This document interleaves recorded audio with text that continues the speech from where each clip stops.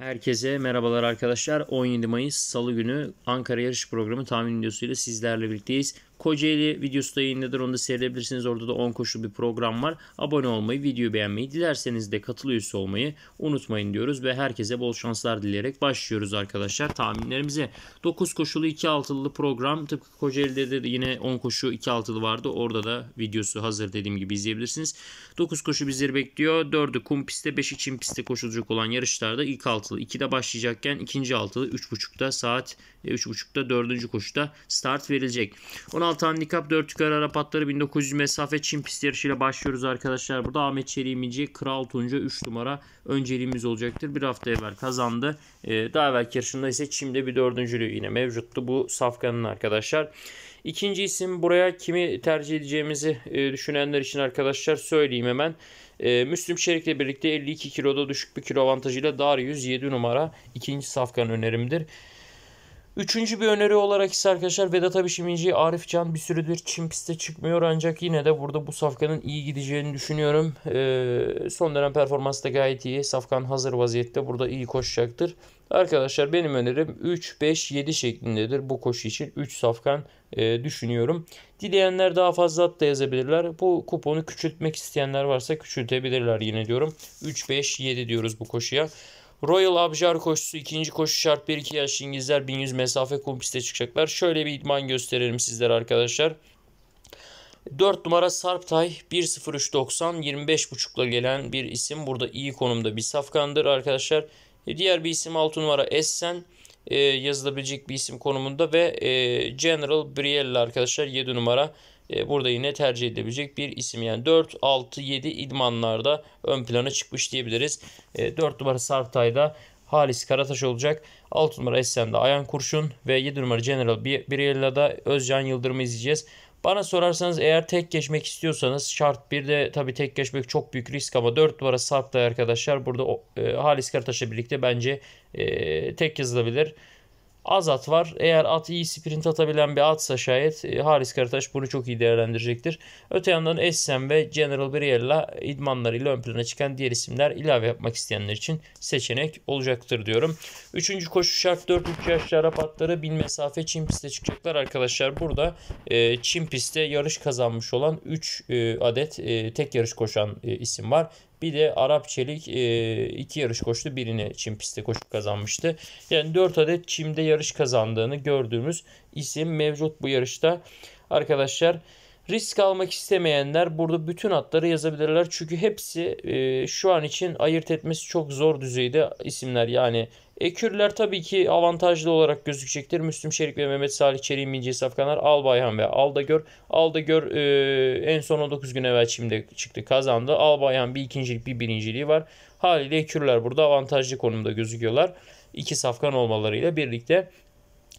Öte yandan diğer isimlerde arkadaşlar e, dileyenler Arap Çelik 4 numara ve dileyenler 5 numara Tanışık, dileyenler 6 numara Yel Sesi e, ilave yapabilirsiniz.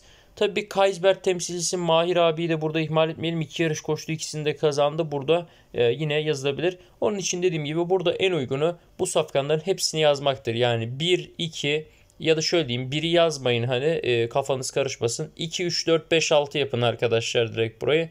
Hepsini yazın geçin derim ben. E, naçizane tavsiyem. Çünkü böyle koşuda risk alınmaz. Ama illa risk alacaksanız tabii ki burada ekürleri mutlaka yazın ki şansınız daha fazla olsun. Yanına da diğer isimlerden ilavenizi yapın derim. Hani e, beğendiğiniz hangi atsa yarışlarını tekrardan açıp izleyin. Bakın ona göre karar verin derim. Dördüncü koşu 15 handikap 4 yaş şarap atları 1600 mesafe Çin piste çıkacaklar arkadaşlar. Burada benim favori gördüğüm isim arkadaşlar 5 numara Kızılok e, diyebilirim. Serhat Fırtınası son yarışta beni birazcık yanılttı. E, ama e, yine de e, tabela performansı devam ediyor 4 numara. Onu da ilave etmenizi öneririm arkadaşlar. Berk Timur bir diğer safkan bir ikincilik bir beşincilik var. Son yarışını Çim pistte ilk yarışında kazanmıştı yine Çim'de. Buradaki son olarak düşüneceğimiz ilavedir arkadaşlar. Belki JTMO yine yazabilecek bir isim arkadaşlar. Uygun bir kiloda geliyor burada. Çok iyi bir yarış koşabilir. Yani şöyle baktığımızda toparlamak gerekirse 2 numara 4 numara, 5 numara ve 7 numara bu koşu için en geniş kupondur. Jet Hemo'yu risk alıp tek geçebilirsiniz. Bu bir seçenektir. E, Kızılok için mesela bunu söylemem benim favorim Kızılok ama e, burada açıkçası bunu söyleyemiyorum hani bu isim tek olur diye ama risk alacaklar JTMO düşükte bir kilo ile birlikte tek geçebilirsiniz arkadaşlar bu koşuda. Beşinci koşu 16 handikap dişi 4 tükar İngilizler 1500 mesafe kum pistte e, koşacaklar. Arkadaşlar burada e, ben e, şunu söyleyeyim. Belenus 6 numara 5-2-4 son 3 yarışlık performansı bu yarışta geçilmez diyorum. Accuracy Bay Bay Lula bir de çok iyi bir safkan. Son yarışta bir talihsizlik yaşadı. Etli 45 günlük bir ara verdi e, haliyle. E, burada ekürler tek veriyoruz arkadaşlar. Biz Vedat Abiş'le birlikte e, Belanus'a güveniyorum. Zaten Bay Bay Lula bir de çok iyi bir safkan. O da burada yine iyi koşacaktır. E, 45 gün araya rağmen yine iyi bir yarış izleyebiliriz ondan. Ekürleri tek olarak e, düşünüyorum bu koşuda. Arkaya gelecek olan safkanlar 4 e, numara Miss Defne, 7 numara Senna, 8 numara She is the Show olur diye tahmin ediyorum. Peşine sıralanacaktır bu ekürlerden e, birisi kazanınca arkaya bunlardan gelebilir diye düşünüyorum. Aynı hakeza 3 numara Toriçem de yine tabelada bulunacaktır diye tahmin ediyorum. 6 numara tek veriyoruz. Dünya kadınları e, koşusu arkadaşlar. Kısa vade altı dişi 3 yaş İngilizler 2200 mesafe Çin pistte çıkacaklar. Arkadaşlar burada 5 numara var. Şova Akın Sözen'le birlikte start alacak olan Safkan favorimdir. 1-1-2 bu sezonki son yarış performansları ve Halis Karataş'ta Fluttershy 2 numara. O da 2 yarıştır kazanıyor. Bir önceki yarışında bir e, kazanamamıştı. Ondan önceki yarışı yine kazanmıştı. 4 yarışta 3 galibiyeti var. Arkadaşlar 2 numara Fluttershy ve 5 numara Varşova ikilisi yeterli olacaktır diye düşünüyorum. İlave yapacaklar 6 numara Angel Alye'ye öncelik verin. Çünkü bu safkan e, biraz formsuz ama formu tutturursa buradaki atları geçebilecek kapasitesi yüksek olan safkan diyebiliriz. İlk kez çime çıkacak olan Müslüm Şek'le birlikte Arif Kurter'in sahip olduğu Space Walk var. Burada belki Space Walk'u da e, isteyenler yazabilirler. E, ama benim önceliğim 2-5'tir. Daha sonrası da isteyenler 6 ve 4'ü de ilave edebilirler diyorum buraya. E, Royal Abjar koşusu arkadaşlar yine bölünen şart bir kısmı 2 yaşlı İngilizler 1100 mesafe kum piste çıkacaklar. Burada arkadaşlar şöyle bir idman göstereceğiz. E, hemen sizlere. E, burada gördüğünüz üzere arkadaşlar 50-25-70 yapan var. 51-20-25. Ya buradaki idmanlar birbirlerine hemen hemen aynı yakın diyebiliriz. O yüzden çok fazla hani idmanlarla ilgili net bir şey söylemek e, mümkün değil gibi gözüküyor. Burada idmanı olmayan e, iki isim var. Özellikle bu iki isme dikkat etmenizi istiyorum arkadaşlar. Sensin oğlum Ahmet Çelim İnce Safkan ve Karsanbaş 5 numara Haris Karataş'a bir Safkan. Bu safkanların son idmanları yok. Burada çünkü e, tarihi daha e, öncesinde 5 gün falan öncesinde öyle düşünün. E, idman yapılmış e, olan safkanlar.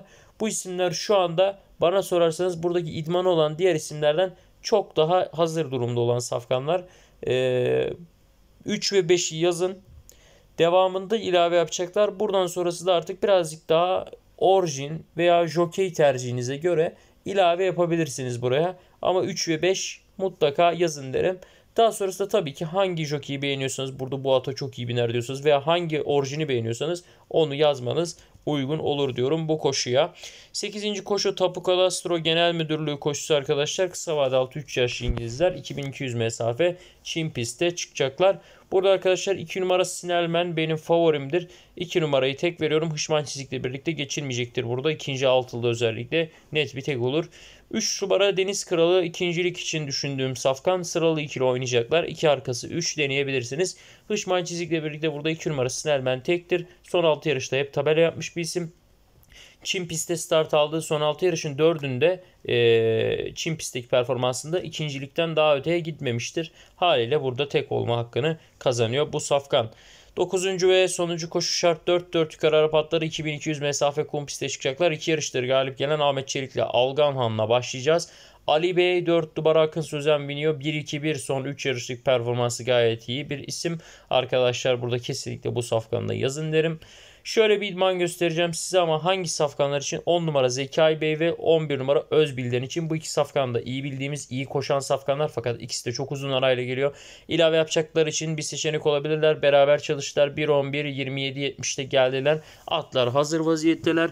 Bu ikiliyi de e, yazabilirsiniz.